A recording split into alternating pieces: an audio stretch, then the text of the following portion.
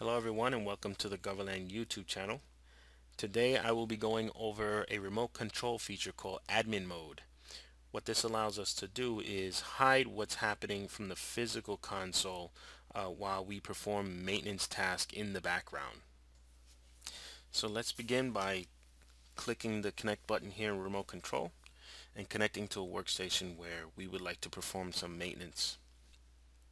So on this desktop both the user and I as the technician can see what's going on.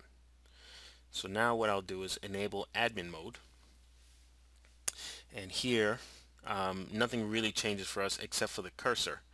Um, so what we're going to do now is flip the screen over to the physical console and as you can see here admin mode is enabled and it is blocking the physical console um, from seeing what I can be doing in the background. The text on this screen uh, where you see your computer is currently being updated can all uh, be changed. Um, the text can be customized as well as the image itself um, can be placed with your company branding or your company logo. So we'll flip back now and in this side I can just basically do what I need to do and the console user will not see. That's all for admin mode. Thank you for watching and be sure to check us out at www.goverlan.com.